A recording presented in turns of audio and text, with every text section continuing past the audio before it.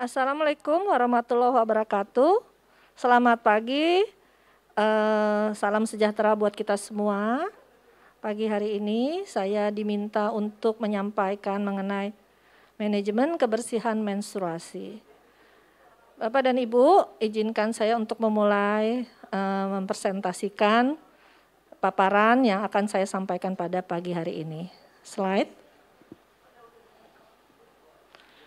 Ini adalah uh, sistematika dari paparan saya pagi, pada pagi hari ini, yaitu berisi pendahuluan, organ reproduksi wanita dan menstruasi, manajemen kebersihan menstruasi, dan serta pendidikan kesehatan reproduksi. Lanjut saja. Ya, jadi eh, Bapak dan Ibu serta adik-adik sekalian, jadi hari ini adalah hari kebersihan menstruasi. Hari kebersihan menstruasi ini sebetulnya diperingati di dunia, ya. Yaitu setiap tanggal 28 Mei. Nah, Indonesia juga sebetulnya baru-baru ini ya berpartisipasi dalam uh, perayaan atau memperingati hari uh, menstruasi kebersihan menstruasi ini, yaitu kita mulai sejak tahun 2017. Jadi kira-kira sudah empat tahun ini kita berpartisipasi untuk memperingati Hari Kebersihan Menstruasi. Jadi tema pada webinar hari ini adalah jaga bersihmu raih prestasi. Slide. Bapak dan Ibu serta adik-adik sekalian, kebersihan menstruasi ini sebetulnya merupakan bagian dari tujuan pembangunan nasional ya di mana diharapkan semua sektor berpartisipasi mulai dari tingkat pusat sampai di tingkat daerah. Nah, sektor-sektor apa saja yang berpartisipasi? Ya, ter, terutama kalau kita bilang kebersihan menstruasi mungkin kesehatan ya kesehatan. Nah, kemudian ini juga kita pendidikan ya karena ini juga berhubungan dengan nanti prestasi ya. Kemudian sektor agama karena tentunya di pendidikan juga ada madrasah di sana, ada pesantren ya. Sektor-sektor lain yang mendukung ya. Baik nanti kan kita akan berbicara mengenai air bersih ya, sana, uh, sanitasi dan sebagainya pihak swasta atau lembaga pemerhati, khususnya kesehatan dan pendidikan. Kemudian tak lupa juga ada dukungan dari masyarakat, di mana masyarakat itu unit yang paling terkecil adalah keluarga, ya, dan tentunya remaja itu sendiri, ya. Jadi penerapan kebersihan menstruasi ini memang dimulai sejak remaja, ya yaitu dengan melakukan pembiasaan-pembiasaan hidup bersih dan sehat yang nanti menjadi uh, bekal uh, untuk uh, perilaku kebersihan dan kesehatannya saat mereka dewasa nanti. Pengelolaan kebersihan ini juga merupakan hak bagi setiap perempuan ya termasuk remaja.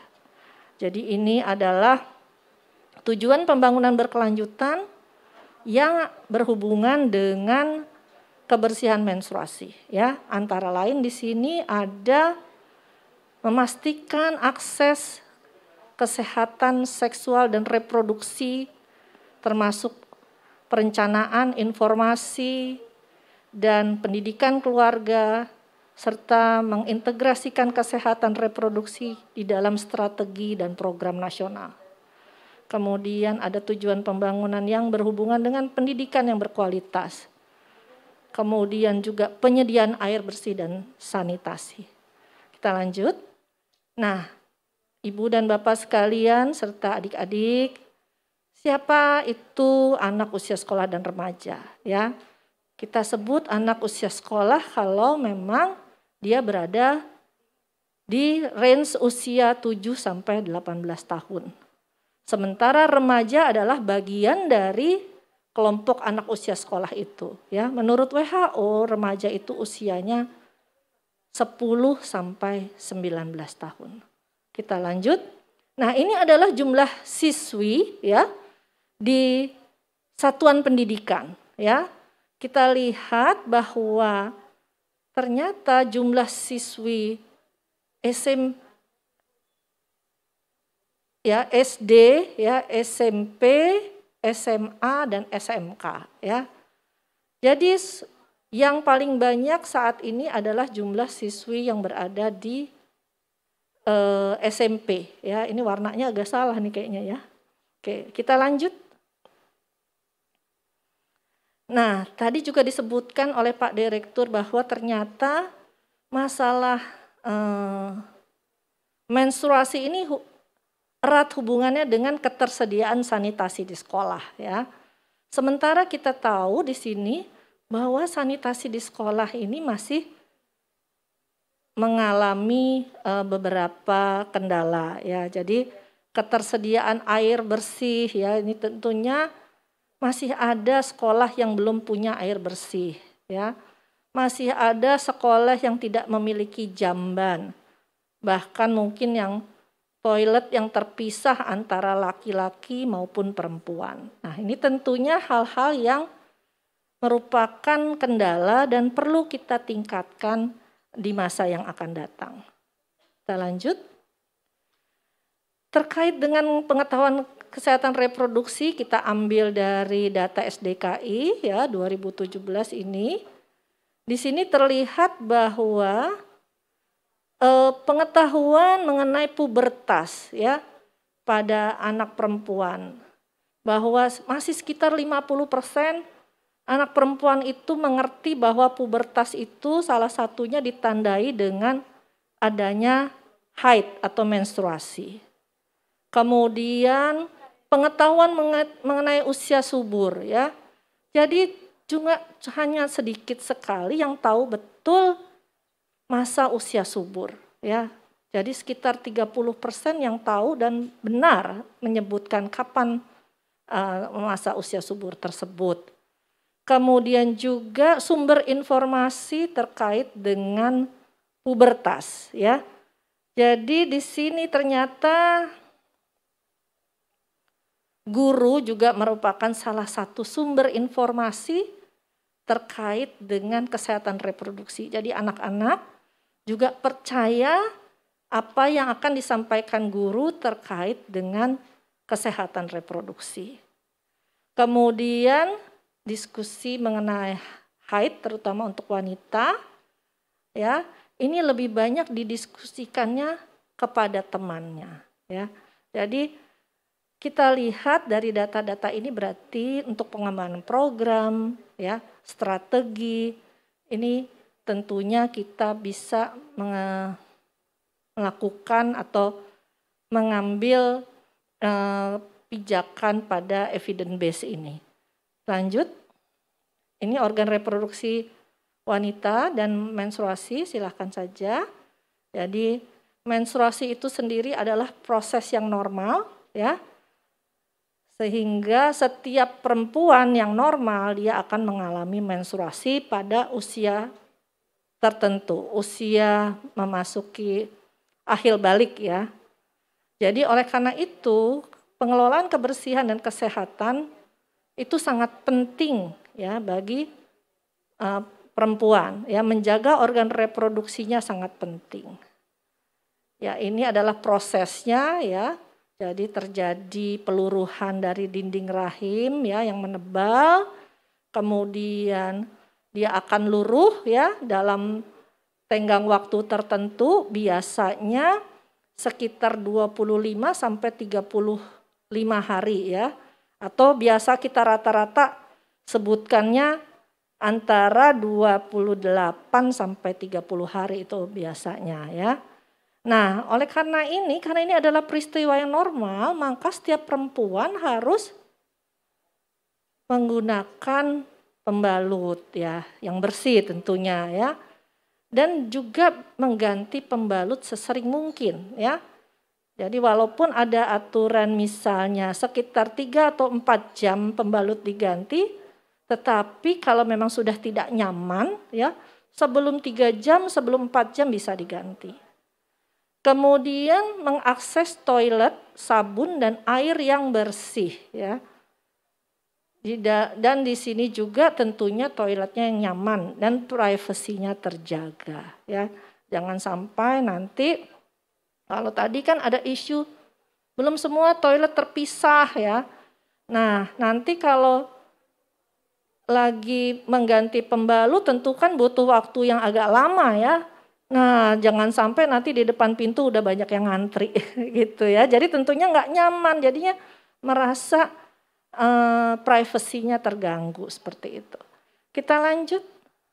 Ya, ini ada menar ya. Menar adalah uh, menstruasi yang pertama kali yang dialami oleh anak perempuan, biasanya tanda-tandanya nyeri atau kram, ada perubahan cairan uh, vagina ya, kemudian sakit kepala sampai mungkin kembung dan apa ya mood swing ya biasanya uh, apa suasana hatinya tidak tentu ya kadang-kadang suka sering marah-marah uh, pemurung, kecewa, ya uh, sering sedih ya seperti itu ya. Ya, kita uh, lanjut.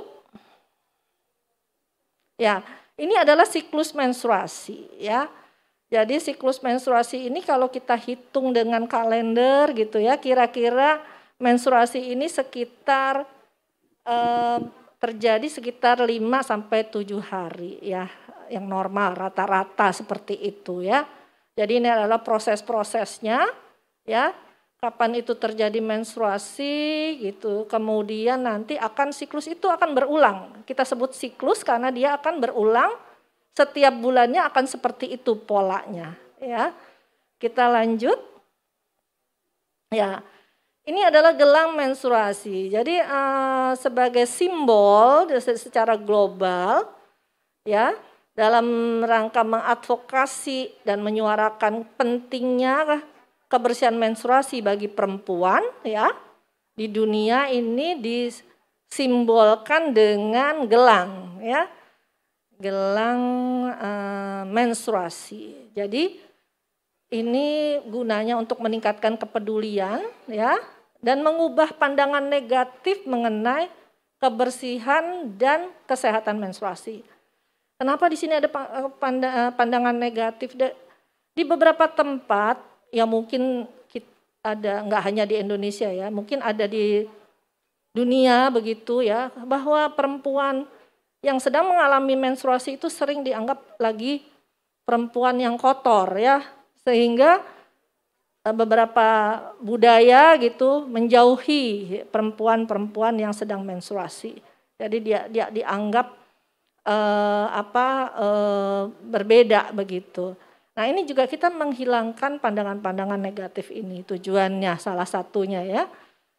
Kemudian juga mendorong kebijakan dalam memberikan uh, prioritas politik untuk kesehatan dan kebersihan menstruasi ya.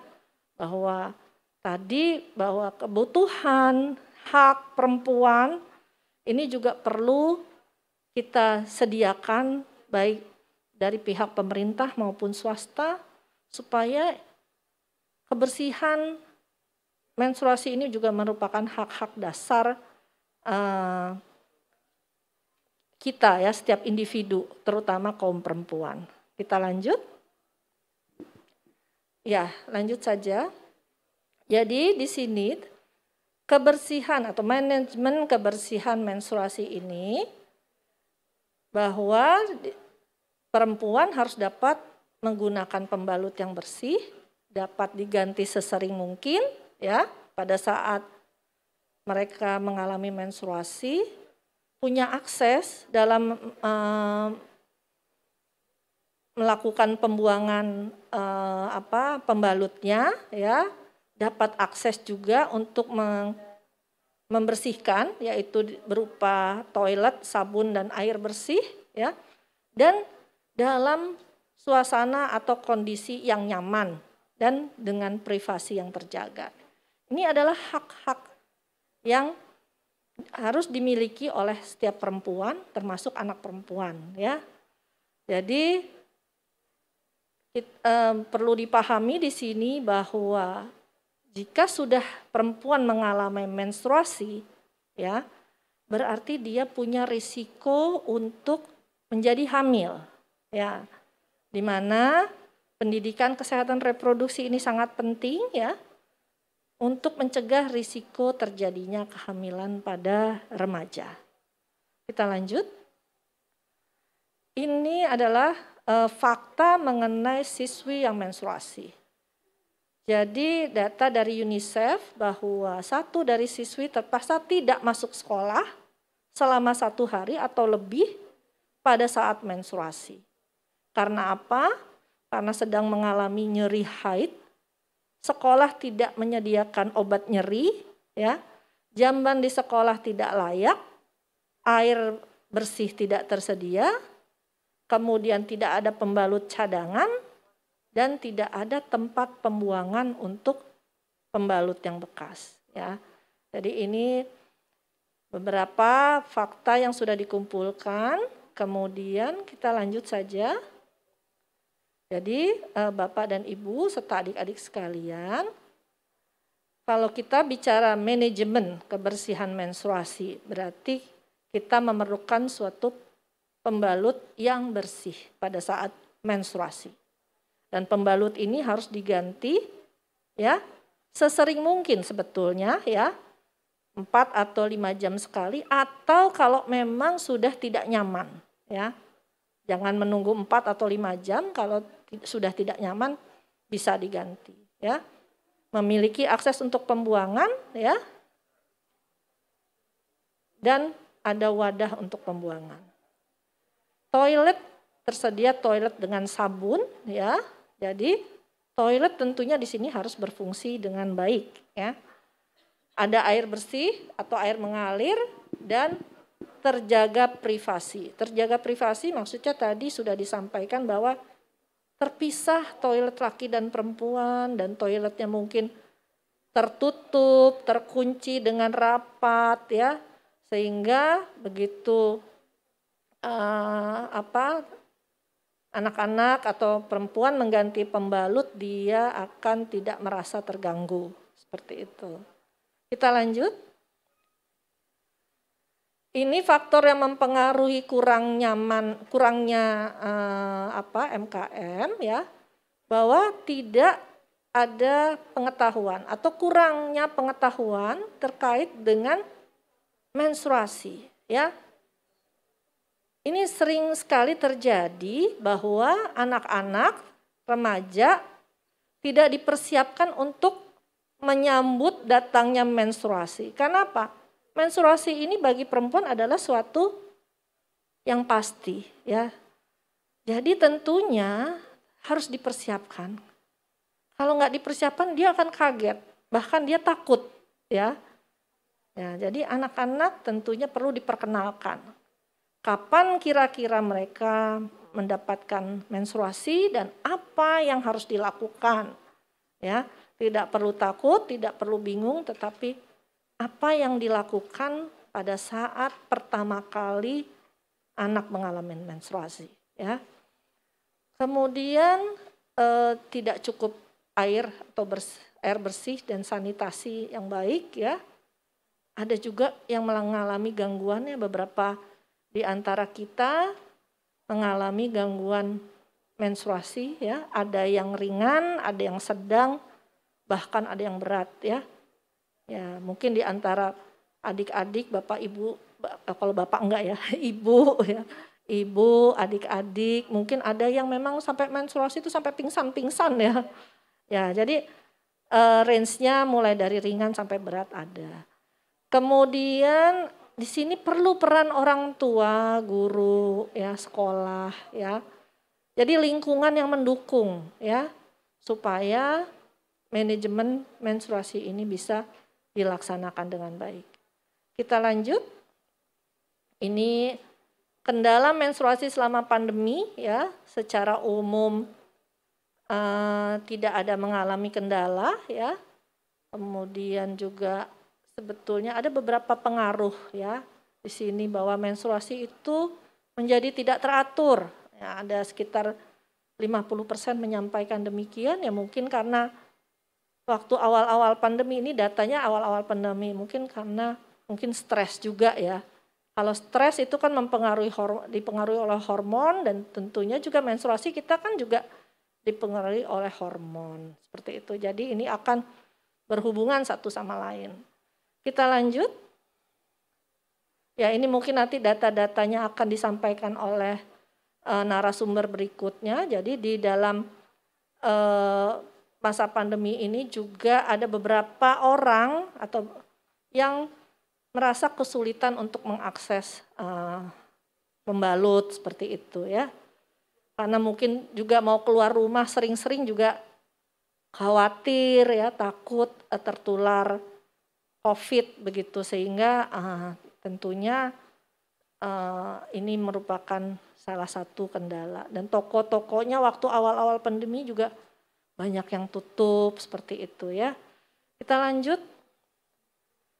Nah ini perilakunya ya, jadi perilaku cuci tangan juga ya. Ternyata masih ada yang kalau menggunakan pembalut itu enggak cuci tangan gitu ya. Jadi ini kita perhatikan ya kebersihan. Namanya juga kebersihan, terutama ini kan organ reproduksi. Jadi sebaiknya cuci tangan sebelum dan setelah menggunakan pembalut. Kita lanjut. Jadi ini dampak kalau tidak dikelola dengan baik ya. Jadi kalau ada dampak kesehatan ya, kesehatan yang paling gampang ya infeksi ya karena kotor, tidak bersih ya. Tentunya ada kemungkinan terjadi infeksi atau iritasi ya. Kemudian kalau di pendidikan mungkin ya jadinya bukan bolos ya sepertinya nggak masuk sekolah kali ya. Kalau sakit atau aduh mau lagi menstruasi lagi banyak banyaknya lagi banjir ya istilahnya. Kalau apa anak-anak perempuan lagi banyak banyaknya tapi nggak bisa ganti pembalut. Karena apa? Di sekolah nggak ada air bersih, nggak ada toilet, aduh jadinya kayaknya repot. Ya udahlah nggak masuk sekolah, ya. Jadi resikonya tentunya bisa tertiga mata pelajaran ya, karena apa? Ada hari di mana kita tidak masuk sekolah, ya. Kemudian ada juga uh, resiko bahwa aktivitas dibatasi ya karena sedang menstruasi kayaknya aduh males mau ngerjain apa-apa males ya. Jadi merasa jadi aktivitasnya terbatas ya sehingga juga ke, kehilangan kesempatan untuk bisa berpartisipasi secara sosial. Dampak terhadap lingkungan ya tentunya tadi ya pembuangan limbah ya limbah terkait dengan eh, apa pembalut yang sudah dipakai ya kalau tidak ada wadah yang benar ya akan nanti dibuang sembarangan bahkan mungkin dicemplungin di dalam kloset ya sehingga nanti kloset sekolah tuh jadi mampet ya. Jadi aduh jadi PR lagi buat sekolah ya. Kita lanjut. Nah, ini eh, apa yang dilakukan jadi pembalut ada yang eh, jenisnya pembalut sekali pakai ya. Saya rasa ini udah tahu semua nih anak-anak ya. Apalagi sekarang mereknya banyak. Kalau zaman saya dulu mereknya tuh terbatas bahkan cuman satu-satunya mungkin ya ya zaman saya dulu ya bahkan kita masih menggunakan pembalut yang eh, apa eh, tradisional ya ini yang ini bisa beli di toko ya merek apa pun ada sekarang banyak jenisnya silahkan dibeli sesuai dengan kebutuhannya kita lanjut nah ya ini penggunaannya ya penggunaannya ini masih ada juga ternyata yang Eh, nggak e, ngerti gimana cara makainya sih gitu. Padahal sekarang sudah sangat mudah sekali. Udah pakai apa perekat ya. Sini tinggal diperekatkan ya. Terus e, nanti bisa langsung dipakai ya.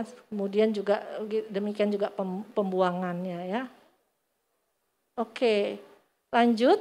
Nah, selain itu ada pembalut yang memang dibuat ya. Nah, ini zaman dulu ini pembalut itu dibuat karena yang jual juga masih terbatas, mereknya juga cuma satu-satunya dulu ya, dan belum tentu punya uang juga untuk membeli gitu ya. Dan belum tentu juga di warung dekat rumah dijual waktu dulu ya. Tapi sekarang mungkin juga ada beberapa tempat yang akses terhadap pembalutnya masih belum ada. Jadi bisa dengan menggunakan kain ya. Ya, kain. Tapi nanti setelah dipakai ini bisa dicuci bersih, dijemur dengan uh, di terik matahari ya sampai kering ya. Terus kemudian bisa disimpan, ya, disetrika terus disimpan dan bisa digunakan kembali. Ya, kita lanjut.